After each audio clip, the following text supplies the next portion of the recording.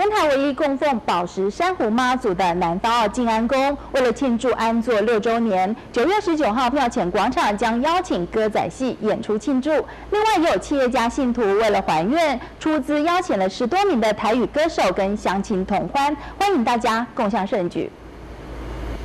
南方澳静安宫拥有全台唯一的宝石珊瑚妈祖，重达六百公斤，花费一亿打造而成。在二零零九年安座至今满六周年，庙方特别举办两天的庆典。九月十八号下午两点安排歌仔戏的演出，而重头戏是九月十九号晚上七点有艺人联演，由名主持人董恰恰跟许孝顺带领知名艺人到场演出。而庙方表示，这是企业家信徒为了还愿，特别出资赞助，希望乡亲也可以一起来参与。这雕刻这个线路都是一张。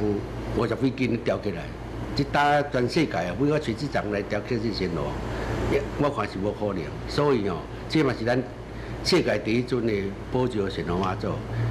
咱雕刻了后，即个这个红董事长，伊嘛对这个当年的周年庆嘛真关心。啊，今特别今年啊，李进华啊，董事长啊，啊伊嘛旧年过喜愿啦，啊都是讲因老母啊身体嘛更加健康。迄都是特别个邀请即个胜利超市夜总会啊，啊来答谢咱神龙妈祖，啊因老母的身体嘛真恐惊。